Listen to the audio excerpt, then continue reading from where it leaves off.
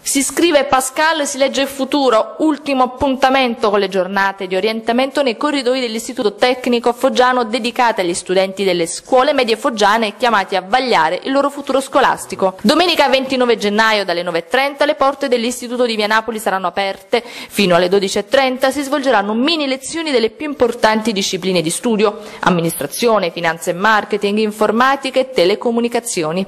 Accolte dal dirigente scolastico Giulia Rosa Trimboli, le famiglie famiglie potranno visitare tutte le strutture didattiche del Pascal, i laboratori di informatica, di fisica e chimica, la palestra, l'auditorium e le aule, tutte con lavagne interattive multimediali. Per questo abbiamo l'Open Day per informare le famiglie e i ragazzi in questo momento che sono alla vigilia di un'importante scelta di vita.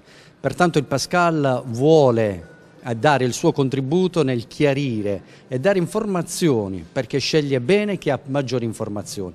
Innovazione, progresso, futuro è questo il linguaggio del Pascal. Nell'alternanza scuola-lavoro si stanno realizzando dei percorsi eccezionali perché eh, il nostro intento è dare la possibilità al ragazzo con il diploma di spenderlo nel mondo del, del mercato del lavoro. E quindi abbiamo dei percorsi con eh, aziende della Migaston della Repubblica di San Marino dove i ragazzi di terza A lavoreranno su una piattaforma reali per realizzare delle app. E quindi ci saranno app disponibili per tanti esercizi commerciali che vorranno convertirsi dal sito all'app.